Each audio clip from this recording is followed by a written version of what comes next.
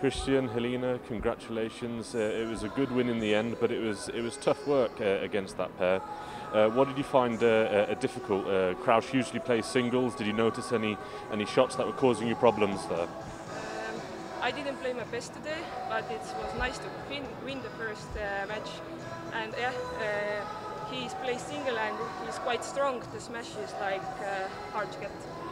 In that first game, I think there was uh, a few nerves and mistakes uh, for both sides, uh, a few service errors.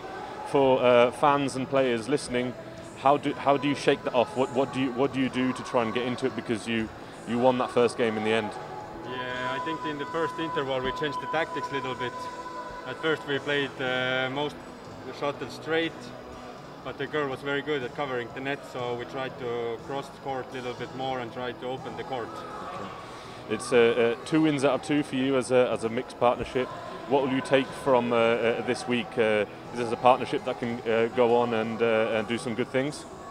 it is good, quite good experience to play, especially mixed double, because in Estonia we have quite a few mixed double players. lastly, you're both playing later on again.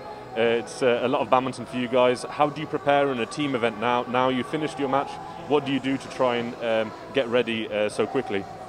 Maybe relax for half an hour, eat some banana, and then warming up again. Fantastic. Uh, well played, and the very best of luck later on. Thank you.